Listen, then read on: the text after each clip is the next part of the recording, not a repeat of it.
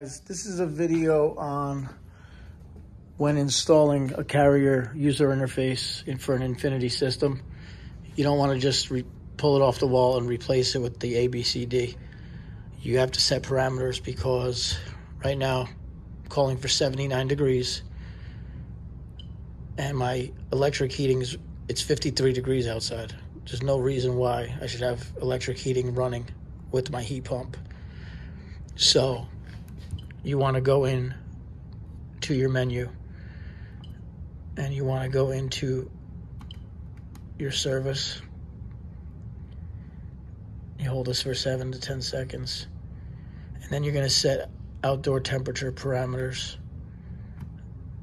in setup. And then you're going to go to heat source lockouts. So you see it'll come out of the box as none and none. So you want electric heat above 55 degrees. You want it to lock out above 55 degrees. I would bring this to about 25 degrees. Some people may say lower because these are great systems for your heat pump air temp below negative 20 and then your electric heat would take over you want to save, right? Done.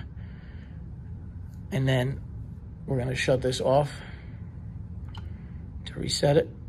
And then I'm going to come back in one second when it shuts down and see, show you how it's running. Waiting for the, the indoor fan's running and waiting for it to start.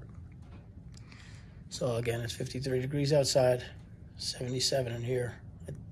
First part of the video, I think was 12, 18. So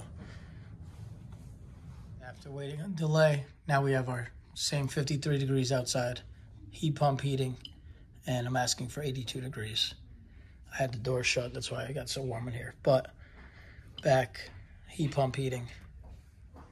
So parameters matter, or you'll run the customer's electric bill crazy if you say that there's no minimum for heat pump heating.